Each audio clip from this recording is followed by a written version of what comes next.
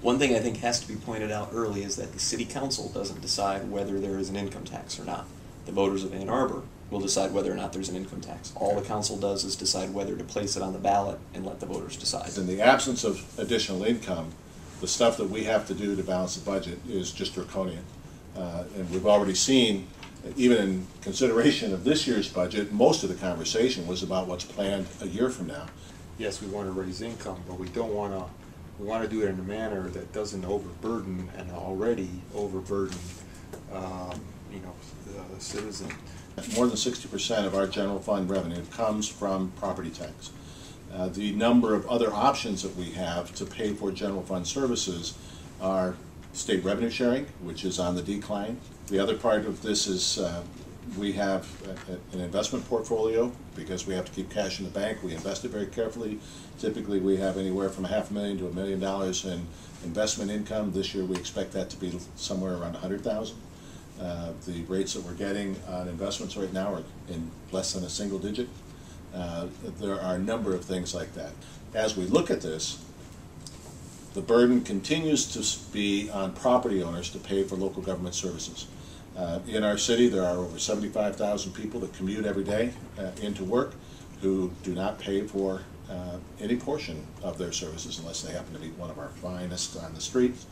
That's a lot of what comes up by, by residents is, you know, property taxes are high, service levels seemingly are either uh, at a standstill or or being reduced. And, um, you know, why aren't others, either individuals or institutions, uh, paying their fair share? And that's always been a tough question to answer.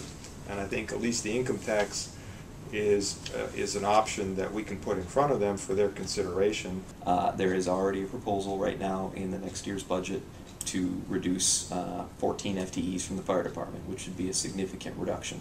Maintaining that existing service level would obviously be an expense that income tax revenue could help cover.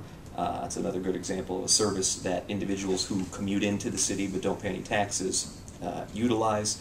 What I started hearing from my residents uh, after Pfizer was acquired by the university was that those who had always been interested in this, but it just kind of put it aside because it wasn't a hot topic, that for them put it back up on the list. It, it didn't necessarily change their mind, uh, but it made them say, uh, you know, we got to start talking about the income tax again. And I have received overwhelming email correspondence and even knocking on doors talking to people who say, absolutely, we should have this dialogue. of the, the city income tax should not be viewed as this panacea for all ills, because even if this was to be put in front of voters, and they did decide that this is the way they wanted to go, we still are gonna have our, our challenges, if not to, you know, today or next year, then certainly two, three, four years down the road, which brings in some of these other sort of, um, uh, issues that have to be dealt with, uh, in terms of uh, accommodating, uh, uh, potential costs and cuts in services like the firefighters and so forth, so. Uh, the majority of our municipal property tax levies are voter approved by people in this community. The Parks Millage voter approved, two Parks Millages, I should say. Millage. The street millage voter approved, the Greenbelt part of that voter approved.